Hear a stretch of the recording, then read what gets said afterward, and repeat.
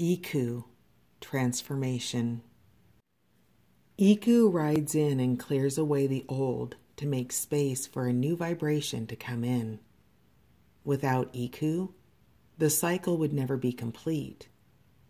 Iku is death in the Yoruba tradition, but death is not the end.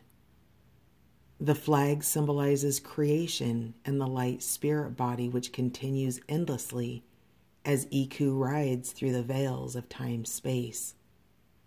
The Pegasus symbolizes this ability to fly to the ends of time and space, resulting in true freedom.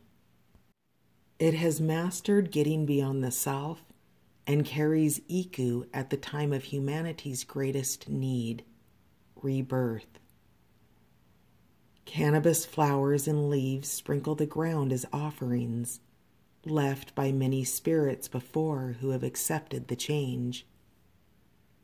If you accept Iku when she appears in a spread, you are fully free to release something and step into the new light.